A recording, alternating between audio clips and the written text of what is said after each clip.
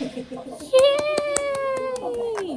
It's these moments of bonding and feeding Richya Jackson is thankful she's not missing as a young mother finishing high school. But here I can get both be, him being watched over and me still finishing high school. There you go. Jackson, along with other mothers like Alyssa Kowalski, are students at Kingdom Kare's Teen Parent Education Program in Anne Arundel County. So I feel like this is a great combination of being a parent and being a teenager and you know, you get to see your baby during lunch or in your in between classes, so you don't get like really anxious about your baby being so far away.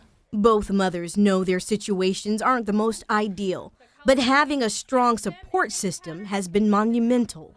They're able to focus on finishing their education while also learning how to be the best parent for their baby. The school is spearheaded by Dr. Barbara Palmer, who knows exactly what her students are experiencing. I was a teen mother. I graduated from Annapolis High School, um, 12th grade, senior year. Parents, home of two parents, didn't know what to do with myself, but I'm glad I had family there to walk me through the process, but it wasn't easy. Being able to meet the girls where they are fosters a nurturing relationship. Palmer says there are at least 100 teen parents who aren't enrolled in school throughout the county.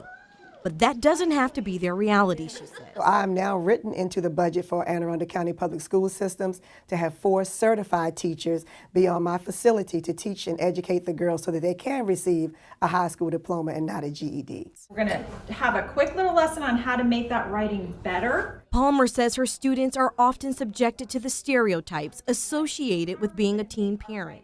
And sometimes young mothers are victims of horrific circumstances.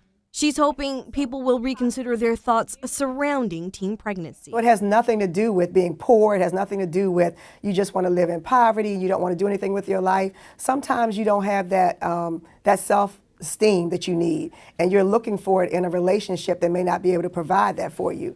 Jackson and Kowalski will graduate in the coming months. Both now certain college is in their future. And being here made me realize I wanted to also go to college to, you know, take the step further. I would say I'm eternally grateful and they've given me a second chance at life, truly. Reporting in Odenton, Megan Rivers, WBAL TV 11 News.